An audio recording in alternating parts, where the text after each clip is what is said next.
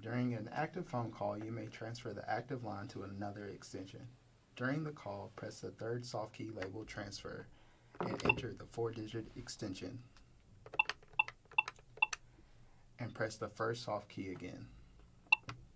The phone will now prompt you, prompt you to select now with the first soft key or talk with the second soft key.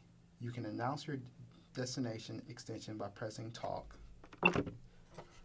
which will start a call. Once you're ready to complete the transfer, press the first soft key labeled complete.